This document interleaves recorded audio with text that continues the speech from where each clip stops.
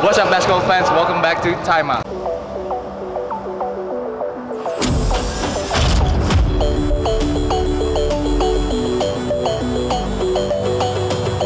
Lagi gue Rocky Padilla dan gue hari lagi bersama head coachnya Pelita Jaya Jakarta yaitu Coach Ahang. Apa kabar coach? Baik, puji Tuhan baik sekali. Oke, sekarang kan uh, Pelita Jaya lagi persiapan nih untuk melawan Setapak Jakarta uh, di semifinal IBL dan udah lima minggu nih off kan. Iya. Um, kalau waktu itu Coach Ahang gue inget bilang, wah pemain gue bisa lupa nih main basket bagaimana caranya. Jadi kira-kira untuk lima minggu terakhir ini uh, bagaimana nih biar Coach Ahang pemainnya nggak pada lupa main basket nih? Nah, ya jadi kita desain bentuk latihannya. Jadi dari bentuk latihannya kita rapin lagi kita punya sistemnya. Jadi bikin dari bagian-bagian yang terkecil, terus kita building dia sampai jadi besar gitu. Terus em, kita desain juga latihannya sedikit kompetitif gitu loh supaya ya mereka tidak boring gitu loh. Dan terakhir bermain itu tanggal 25 Februari dan akan bertanding lagi hari Kamis kan nanti lawan Setapak. Ada nggak sih kekhawatiran dari uh, Coach Ahang sendiri tentang nanti saat tim ini bermain di game satu nanti? Kekha- kekhawatiran itu tetap ada makanya kita siasati dari bentuk latihan dari bentuk latihan kita siasati supaya mereka dalam situasi yang selalu berkompetisi ya selalu mau bersaing selalu mau menang gitu loh. Supaya dari situasi-situasi itu kita bikin seperti di pertandingan.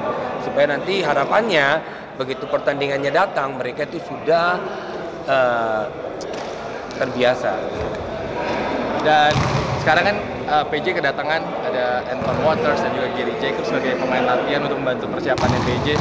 Apa sih dampak yang mereka berikan untuk uh, latihannya PJ ini? Oh dampaknya besar sekali dari satu, dari se- segi mod, segi offense maupun defense gitu loh.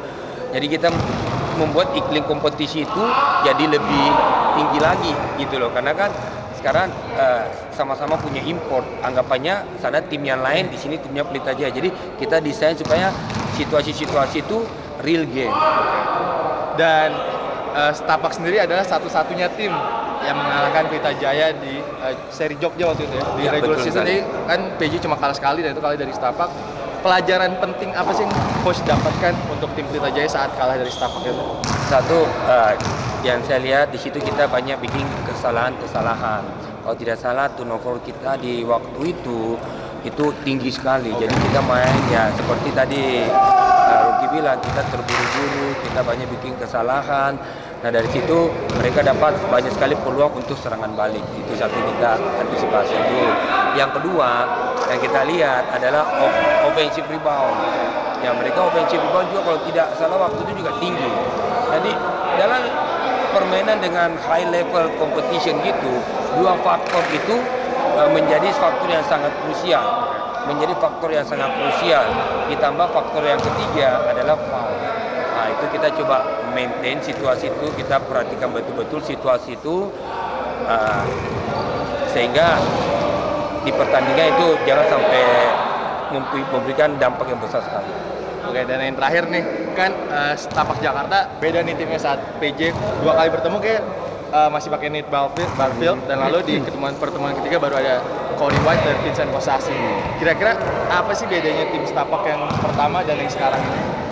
Perbedaan mereka lebih satu dari segi kalau dari segi big man hampir sama sama-sama bisa bisa bisa bisa apa main post main apa ya tapi kalau saya lihat sekarang em, untuk Ricky dia lebih mau passing bolanya Oke.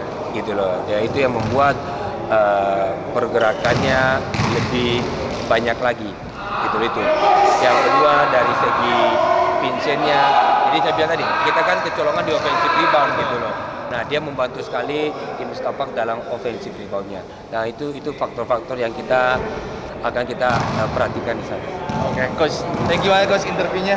Good luck Terima di kasih. Jogja untuk semifinalnya lawan Yes. Setapak. Oke guys, eh, jangan lupa bagi yang eh, di Jogja untuk datang nanti nonton hari Kamis eh, pertandingan antara Setapak Jakarta melawan Pelita Jaya. Kalau gitu guys, itu aja video hari ini. Thank you guys for watching. Jangan lupa untuk like dan komen dan bagi yang belum subscribe, please subscribe. And thank you for watching. I'll see you guys next episode.